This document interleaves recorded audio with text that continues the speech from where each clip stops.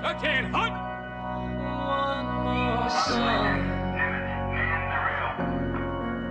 If you can hold on, if you can hold on, hold on. Constant sound course 2, 8, 8 degrees, check the course 2,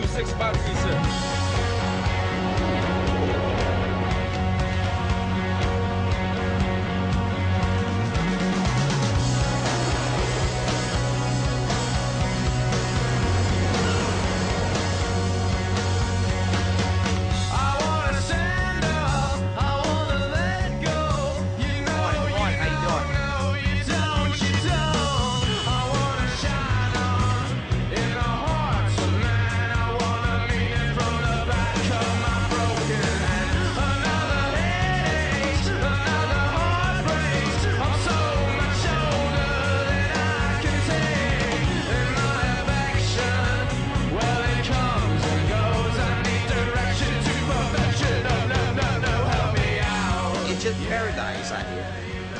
This is the most expensive waterfront property in the entire world. it just becomes like a small town. It just happens to be floating on the water, happens to be, you know, 1,092 feet long and headed towards Persian Gulf. The whole ship blows my mind. It's so big. Every day I'm finding, because I'm lost, I'm finding a new compartment or a new little shop that I didn't know we had. The first month is just trying to figure out where's my rack, where I'm supposed to go, what's supposed to happen on a daily basis. This is an extraordinary environment. We live beneath the runway of a major airport. We live on top of an ammo dump that has enough ammunition to do a significant amount of damage. I never did that in my civilian ministry. My biggest risk in my civilian ministry was falling out of my swivel chair at my desk.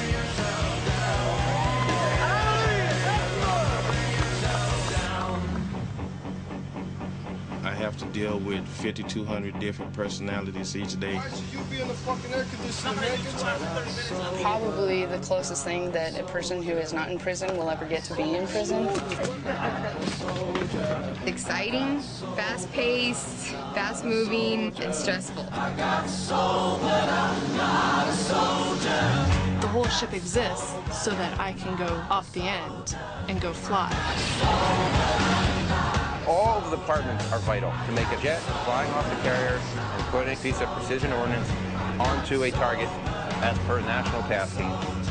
Without one department, without religious ministries, without the legal department, without the reactor department, without supply department, without hot water, cold water, and steam for the catapults, none of it works.